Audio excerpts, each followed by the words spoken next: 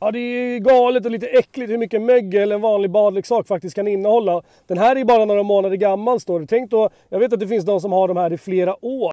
Och barn de är ju ganska känsliga under sina olika utvecklingsfaser i livet och badar de mycket med den här, det kanske blir som att leva i ett mögelinfesterat hem. De kan ju få astma eller andra andningsrelaterade besvär som liksom är för livet ut. Så det är ju väldigt konstigt att inte tillverkaren gör någon typ av dräneringshål eller ventilationshål på de här så att de faktiskt kan tömmas på ett bättre sätt och då inte mögla inuti så att de blir av med vattnet och liksom alla bakterier och alla hudpartiklar som kommer in. Det måste ju kunna sköljas ur på något sätt också. Så jag kommer såklart att kontakta de som har gjort filmen och se om de har kvar något inköpskvitto och kanske någon kartong där det står batchnummer eller någon annan typ av liksom märkning på den här så att man kan härleda till både vart den kommer ifrån och när den är gjord. För då kan vi ta en riktig reklamation på det här.